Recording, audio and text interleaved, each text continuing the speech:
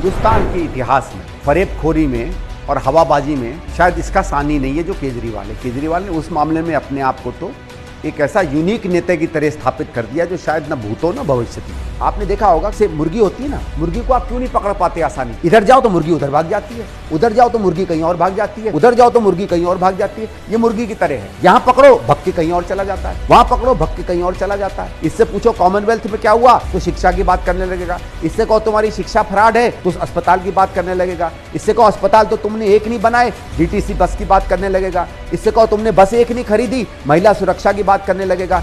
इससे कहो दिल्ली में बलात्कार बढ़ गए, कहेगा पुलिस मेरे पास नहीं। इससे कहो तुमने पुलिस में शीला जी की बात की थी, मैं क्या करूँ, मोदी काम नहीं करने दे रहा। हर चीज़ पे ये कहीं ना कहीं दूसरी चीज़। आजकल टीवी का जमाना है, दो मिनट के व्हाट्सएप का जमाना है। लोग उतना ही सोचते हैं, उतना ही समझते हैं। जादूगर मैं, जादूगर। जादूगर मैं, जादूगर।